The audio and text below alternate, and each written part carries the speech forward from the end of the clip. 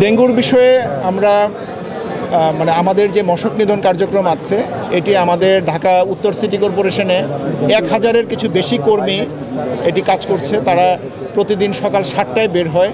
প্রতিটি ওয়ার্ড ভিত্তিক তাদের গ্রুপ করা থাকে।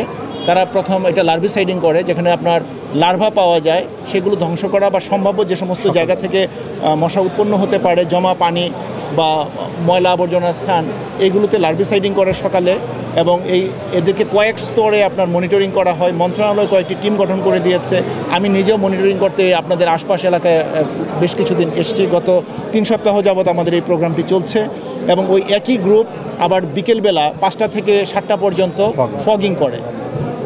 ওই এক হাজার প্লাস জনবল আছে আমাদের এই কাজের জন্য এবং এগুলো আমরা নিয়মিত তাদের আপনার অ্যাপসের মাধ্যমে তাদের হাজিরা নিশ্চিত করি, তাদের কার্যক্রম মনিটরিং করি, মন্ত্রণালয় থেকে তাদেরকে লাইভ মনিটরিং করা হয় এবং আপনার এই জুলাই আগস্টে কিছুটা শ্লথগতি ছিল নানা কারণে যে জন্য জুলাই আগস্টের পরে আপনার মানে মশা বৃদ্ধির অথবা ডেঙ্গুর প্রকোপ একটু বাড়ার একটা প্রবণতা ছিল। তা আমার মনে হয় যে স্ট্যাটিস্টিক্স এটাই বলে যে এটি আমাদের এই যে ইন্টারভেনশন গত তিন সপ্তাহের, তার ফলে এটি স্তীমিত হয়েছে, নিচের দিকে যাচ্ছে কার্প আর ন্যাচারালিও নভেম্বর চলে আসলে আর ডেঙ্গুর এটা প্রাকৃতিক কারণে টেম্পারেচার রেইনফল বিভিন্ন কারণে এটা হয় না। আর এই বছর আপনারা জানেন যে মানে এটি অজুহাত না যারা আপনার বিশেষজ্ঞ তাদের সাথে কথা বললে জানবেন যে বৃষ্টি একটা প্রতিবন্ধকতা।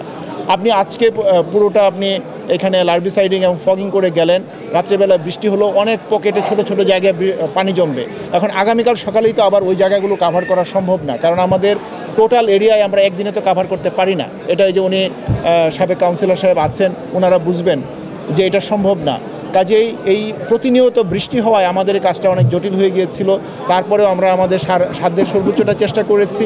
আশা করি আপনাদের সহযোগিতায় আমরা মানে ডেঙ্গু এবছর নিয়ন্ত্রণে রাখতে পারব। তবে আমাদের মানে অন্তর্বর্তী সরকার যেটা মনে করেন যে একটি জীবন মূল্যবান কাজে একটি মৃত্যু যেন না হয় অনাকাঙ্ক্ষিতভাবে, সেই চেষ্টাটি আমাদের করতে হবে। আমরা আমাদের সাধ্যমতো চেষ্টা করছি।